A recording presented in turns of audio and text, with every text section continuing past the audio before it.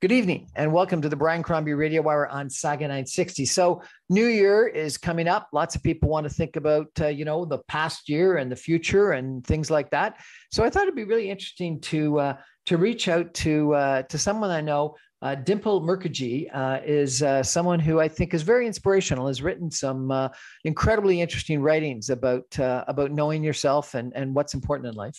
She's an occupational therapist, a word coach, and the author of her latest release called Word of the Year: True Stories about intentional living using the power of a single word, which is now available uh, on Amazon globally and Barnes and Nobles.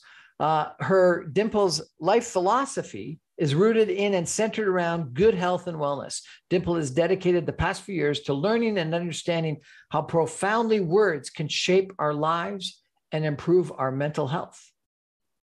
You can reach uh, Dimple and get uh, her workshops, programs, and coaching at www.dimplemukherjee.com, which is D I M P L E M U K H E R J E E.com. Dimple, how are you? Welcome to the show. Thank you. I'm doing well, Brian, and thanks for having me here today. So, how can a single word help you? What is the power of a single word? So there's so many ways and I often think about all the synchronicities that happen when you call in a word, but really if you want to look at the science behind having a word of the year, our brains really like primers and by primers I mean things that prime us into action. And the shorter that primer is, or the more visual or the more sort of like succinct it is, the more power it is, powerful it is. So a word, instead of setting a New Year's resolution, if you call in a word of the year, where a lot of people have been really adapting this practice, and there's a movement that's happening where people are foregoing setting New Year's resolutions and embracing the word of the year because it's um, a powerful tool for us to apply to all aspects of our life. So it's not just one specific goal, but it encompasses all aspects of your life. And it's just like a fun and a light way to really live your life one word at a time. What do you mean by intentional living? So by intentional living, I mean, you know, um, you put some thought um, and dedicate space and time to really understanding your purpose and your values. I think those are really key and really important in terms of gaining clarity to how it is that you want to live your life going forward and for, to, for, for creating forward movement that is aligned with your values and your purpose. But a lot of us may know our values, a lot of us may know our purpose, we think we do, but it really requires a deeper dive and spending some time with yourself. I'm a big advocate of stillness, like creating stillness and space in order to do that. What do you mean a deeper dive? So that, okay, I do, there's many ways to do that. Some people do that through meditation. Some people do that through journaling. My favorite way is through journaling, but really creating space. And for someone who's not used to even having stillness or are constantly on the go is really just about putting in 10 minutes in your schedule and just either meditating, which to be honest, meditation is not my biggest um, tool in my toolkit. Journaling is. So really creating that space just to be on your own, in in in solace, by yourself, in stillness, and really understanding what it is that you want from your life, um, and what your values are, and what is it that you want to dedicate time to. Give us an example of some appropriate words of the year that people might yeah. consider. Yeah, so there's so many, um, but some common ones are transform. Um, uh, mine is awe, like as you can see back there for 2022. There is nourish, there's nurture, there is devotion, there's delight, there's magic, there's um, tend, there's love, love, joy. Like those are really, really common ones. And this year, I'm actually exploring into the territory of having a word of the year in a different language. I actually haven't called in a word of year in a different language, so that's something new for me that I'm starting to like look into with people that are engaging in this practice and uh, seeing where that takes us. What do you mean by awe? So awe came to me, and there's a little backstory. So I've been calling in a word of the year for about seven years. And over the years, what I've noticed that words will do once you start engaging in this practice is they're they have a um, sequence. So my my word for 2020 was command, And my intention for command was to really claim my self worth and really not minimize sort of so the things that I offer to people. So that was my goal for 2020. But as you know, 2020 had something different in store for us. So what command became, command became more about really um, allowing myself not to be shifted by the external circumstances and really returning to my internal locus of control when the world around us was falling apart, so to speak. And then what happened in that year was I realized what things and people and experiences were really important to me. So the things that I thought were important to me were not really important to me. Um, I think a lot of people had that sort of aha moment in 2020. And then in 2021, I called in the word tend, which is my word for this year. And it was really about tending Tent. to the tend, T E N D. Tend. Yeah. So it's really about tending to the things that I now know actually matter and growing them. And I called in awe because now that I've done tend, I wanna I wanna step into 2022 with awe and create awe-worthy experiences for myself and for my loved ones and for and to service my community as well with awe-worthy experiences and service. We're chatting tonight with Dimple Mukherjee. She is a uh, occupational therapist, a coach, uh, a word coach, and she's written a book. We're going to take a break and come back more with Dimple in just a minute. Stay with us, everybody.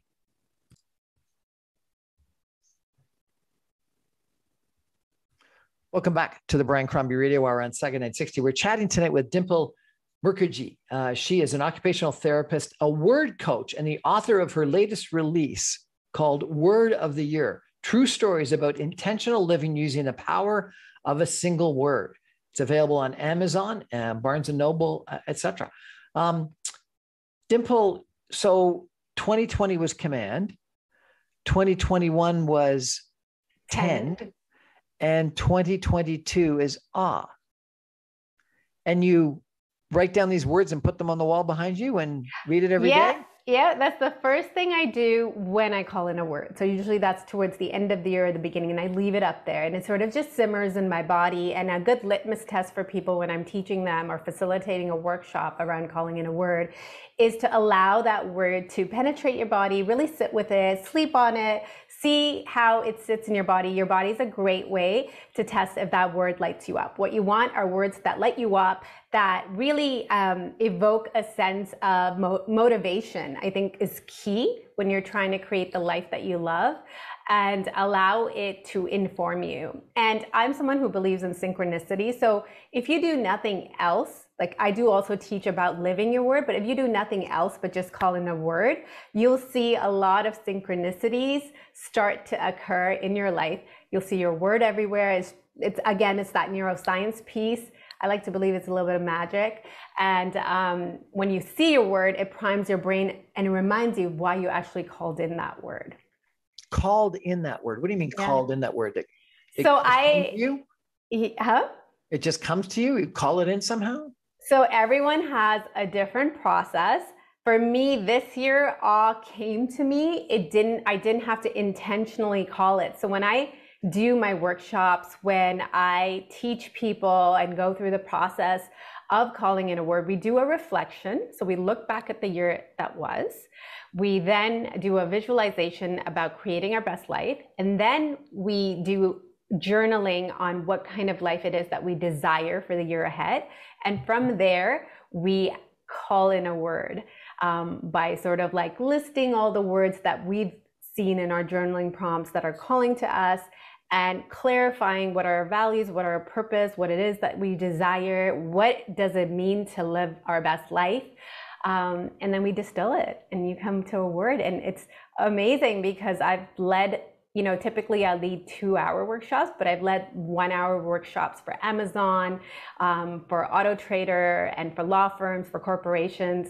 And it's amazing to see that everybody walks away with a word of the year by the end of the workshop. And that may not end up being their word maybe two days later, but it definitely brings them closer. But most of the participants walk away with the word of the year, and it's really exciting. Really, and and and this is interesting. So it's a whole process that you go through. Let's walk through this process again. So yeah. the first thing you do is you you go through the year that was mm-hmm. and understand what worked for you and what didn't work for you. Right, correct. And and what do you do? You write it down? You journal about yeah, it? What? Yeah. So I usually have a workbook that goes with along with the workshop that I've created.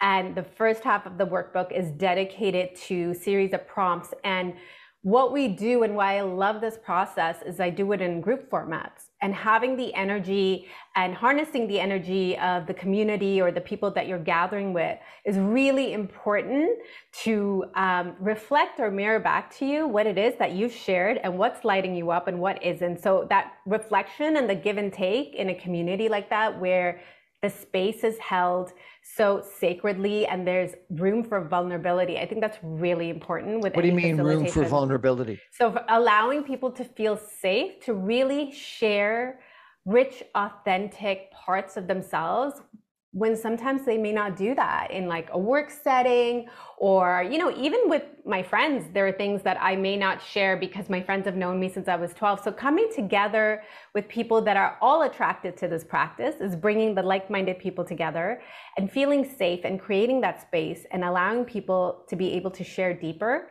It really helps to bring out what it is that you want for your life ahead okay so the first thing is understand uh, the past year and what mm-hmm. worked for you and what didn't work for you. Then the second thing you said was that you want to figure out I, how you're going to live your best life or something? So what i do after they've done the reflection prompts for the year that was and what they're taking forward into the year ahead we do a visualization so I do a visualization for about 10 minutes where I'm leading through, through a guided visualization about creating the best life. It's similar to the future self. There's also a lot of research behind um, visualization and really dreaming up what it is that you want your future self to be like. Um, so I use those tools to help people sink into that state of what it is that they want. So it's guided. So I talk through it for the entire 10 minutes while the participants are, you know, have closed their eyes and are relaxing. And the minute they get out of this guided visualization, they go right into a, um, a journaling prompt about all the things that they've seen, heard, tasted, felt, like basically using all your senses and writing out what it is that you saw. And then follow, and then thereafter, what they have are a few more journaling prompts about what do you see yourself doing in the year ahead in December? If you were sitting in a cafe and you were with a friend, what would it be that you'd be sharing? So, the future self is a really key part of this process um, and really dreaming up how you see yourself and how you want to see yourself and helping you call in your word. Cool. So you yeah. you you number one, close your eyes and you visualize the better you, the future yeah. self. Yeah. And then once that's done, and you do that for 10 or 15 minutes, once that's done, you write down all the things that you felt, saw, smelt, tasted, etc. when you were that better self, where you yeah. were in that future yeah. kind of situation. Yeah. Fascinating. Right. Yeah. And then from that, and then from the, and then from that, there's a few more journaling prompts about future. So like future, future, how do you see yourself in in your relationship? How do you see yourself at work? How do you see yourself as um, you know giving back to community, like service and purpose, meaning and things that you do? And then they distill down. So you go back to all your journaling prompts and you circle all the words that stand out to you, like that are powerful. And then from that, they start distilling it down. And then we do partner work, we do small group work, we do all kinds of that work to help each other figure out or at least narrow down what are their choices. And then we do an active listening and sharing piece in, in partnership which is really powerful. And then we come back to the big group work and everybody has a word. It's it's I I don't think I've done a workshop where somebody maybe one person or you know over the years or two people have been struggling. So as a group we help them in terms of okay what does this word feel like in your body? So it's that piece the group piece that is just as important as the facilitation piece that i do. Why is the group the group piece so important? Because that's the the piece where um, you're mirroring back to each other. You're reflecting what it is that you saw and what it is that you're seeing that the person's not seeing in themselves and I think this that's is, really powerful. This is fascinating. How'd you get into this, Dimple? Yeah, you know, um, so as an OT, so I work um, within a very allopathic medical model as an OT, and I learned um, in school we um, learned a lot about science, but also social sciences, and I love the people piece. I really loved um, really tapping into my clients' sort of um, inner inner inner purpose or their, their heart-centered desires. I find that very fascinating. I love groups because I love how the group um, really comes alive when they're together versus when they're individual individually working with me. I've seen the power of groups, and I got into the word coaching when I did it myself. 10 years ago by myself. I did it on my own and I started practicing it. And then three years went by and I thought, why not? You know, we were having a girls' night in with my girlfriends. And I said, why not make it intentional? Like we always just get together and if there's no real structure or purpose, which is great too. But I was like, you know, we haven't seen each other all year. Why not get together and let's do this? I, there was a little workbook that a blogger had um, shared. So we downloaded a workbook. We did it together. A two hour night ended up being an eight hour night. and it was just, incredible the things that we shared with each other. And even though we've known each other for like almost all our lives, having that structure, having those intentional prompts, having that peace was so key for us to tap into our inner desires that we've never probably expressed to each other because we haven't had permission. And that's the same, like initially I was doing this practice with women but I started working with organizations and corporations, and it's it's such it's such a beautiful practice for anyone to adapt and and embrace, um, and it's been working like wonders for people. You've always been, you know, I think I met you about a decade ago or so. You've always been a very spiritual person. I yeah. think. Yeah, I am. Where did that come from? Actually, interestingly enough, that did not come from my family. So even though my background is East Indian, um, I was raised very religious, and I don't consider religious um, practices to equate to spirituality. I actually stepped into spirituality when I um, got married. I got married, and I started to get to know my in-laws uh, at a very young age. I was 18 and they're very spiritual humans and they're and very like um, special to me. Even though i'm not with my husband anymore they're still very special um, people to me and they taught me a lot about spirituality. And i think also you know going to india really um, being being raised in that culture there is religion but there's also a lot of spirituality in that space. And just painful moments in life i think pain is a great teacher so I've gone through some pain. Teacher. Yes, I've gone through some transitions in my life, which were very painful. And I think that they taught me how to um, really connect with spirituality for, for comfort, for nourishment, because those are the healthy ways for me to work through pain or work through grief. Um, and you know, I've, I've had my share of numbing my pain, running away from my pain, avoiding my pain. But I really think that if you sit with your pain, it's it's one of the biggest teachers you can have in your life. Sit with your pain. Mm-hmm. instead of trying to numb it. running rather than running away from it or numbing it. Uh, what yeah. do you mean by that? Like just not dwelling on it? Is that what you no mean? not dwelling. No some people will um, drink to numb their pain right? Like you drink uh, have a drink because you don't want to or, or avoid it through work a lot of um, people will take on extra work because they don't want to deal with some of the realities in their life. It's too painful, right? So let's focus our attention on work or on our kids. So the attention gets taken away from you.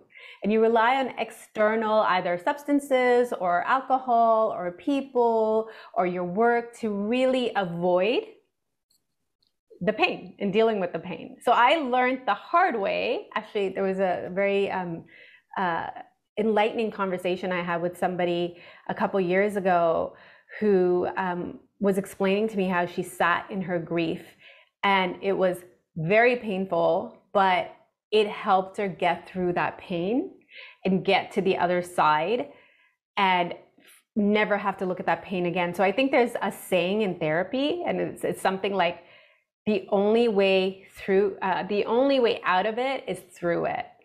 I think that's the saying. And I've learned to not numb my pain and instead sit in it, process it, allow it to take over, do its thing, and come out of it stronger. Hmm, that's, that's great. Yeah. yeah. Um, we have a common friend that uh, that seems to not have gone through that. Mm-hmm. What's the what's the secret to to doing it? Come to the realization you've got to be able to do that, or yeah, you have to have awareness There has to be a desire, there has to be a willingness, but I think the step one is awareness. There has to be an awareness that this is what is helpful. This is what is going to be helpful. Trusting the process, right? Um, that that's the first step, and I think it's hard for a lot of people to do that. So many people have uh, numbed their pain in the last year with alcohol or drugs, yeah. things like yeah. that.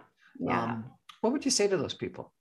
Well, we are living in very unusual circumstances. And I'm going to, um, the one thing that I've recognized or realized, observed rather, um, during the course of the pandemic is that it, it's, it's unprecedented circumstances, but I think the people who are faring better are people who already had a self care practice in place prior.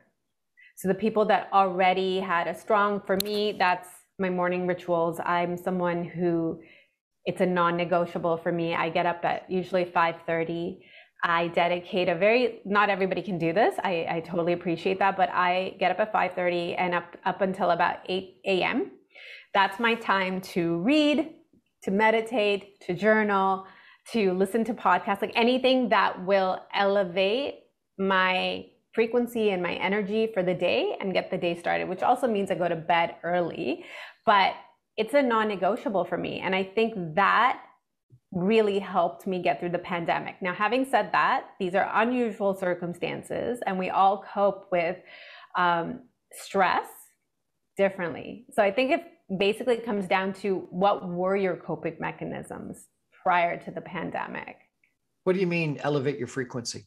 Oh, yeah. So without getting into the jargon of law of attraction and, you know, all of the quantum physics, but I do believe that if you're resonating at a higher frequency, which basically means that um, you are someone who's thriving and you will attract more of the good stuff into your life. So trying to keep yourself at um, a frequency where you're functioning and finding joy in your life every single almost every day is important and to find out what make helps you do that i think is important. So i also think that when we do the word of the year those are some of the things we explore and we look at what is it that actually brings you joy not just happiness because i think happiness is fleeting but really exploring that. What's the difference between happiness that you think is fleeting and joy I think happiness is circumstantial. I think it's, um, you know, um, something happens in your life and you're happy. Whereas joy, I, I think is more of a deeper emotion. So it's more of a state versus a feeling, I think. Um, the other joy the, state, not a feeling. I think so. Um, now, people can maybe argue that maybe it's an emotion, but it is more substantial, I feel, than happiness is. Um, the other experience, and I don't want to call it emotion because it could be an experience, is fulfillment, feeling fulfilled. And feeling fulfilled doesn't mean you're happy all the time or joyful all the time, but it means that there's purpose and meaning in your life. Yeah, well, that's the Viktor Frankl in search of meaning. Yeah, yeah, that's that right. You got to have uh, some meaning in life. You have to have your why. You have like to you have, have your why. You have to know what your why is. Because if you know what your why is, you can overcome any obstacle. That's sort of the, the book. That's what Viktor Frankl um, talks about in his book. It's an excellent book. Excellent Dimple, book. What's your why? Oh, I just posted something on Instagram. So my why are my kids, obviously. Um, but outside of my children, my why is service to the community. I think um, I've been told in many interviews by whether that's, you know, um, on podcast or through psychic readings or you, you name it, like the whole gamut, that um, I'm a healer. And I, and, and I do believe that I'm in the profession of occupational therapy and coach because I value health. Like good health is one of my top priorities or and top values in my life. Um, it's up there with connection and it's up there with experiences and travel. Um, so for me, I think my why is really dedicating my life to helping people realize that good health is is something that is achievable and in their power. Like I just want to empower them to believe in their health and that they have control of it. Lots of good words: empower, yeah. connections, yeah. good health. Yeah, good health is big, big for me. So I'm very um, passionate about that if people want to follow you or access you from a coaching standpoint, how do they do that? They can just go on my website. It's probably the easiest place, dimplemukherjee.com. So D I M P L E M U K H E R J E E.com. I have to make that easier. And there are um, different ways to follow me. You can follow me on Instagram. I'm probably the most active on Instagram now. And or you can sign up for my newsletters. That's probably the best way. Oh, I got to sign up for your newsletter. Yeah. And uh, and remind us uh, the title of the book. Yeah, I have it here. You want to see it? Please. It's called The Word of the Year True Stories about Intentional Living Using the Power of a Single Word. Beautiful. And I think this is perfect uh, for this time of year as people are thinking about New Year's resolutions uh, uh, or the word of the year. Um, and I think that your comment about, you know, thinking through the past year is very helpful. Uh, mm-hmm. and I interviewed uh, someone a year ago uh, who talked about a process they um, go through, which is sort of like your living up to your grief or however you described mm. it. Um, but it was that they thought through all the bad things that they wanted to get rid of and not take into the new year and wrote it down and burnt it. And yeah. the, the physical act of writing down the bad thing they didn't want to bring into the next year and burning it mm-hmm. was a way of trying to ensure that they didn't bring, bring that uh, negative uh, negative emotion or negative experience or negative person or negative whatever it was into the into the next year. Yeah it's a very powerful ritual.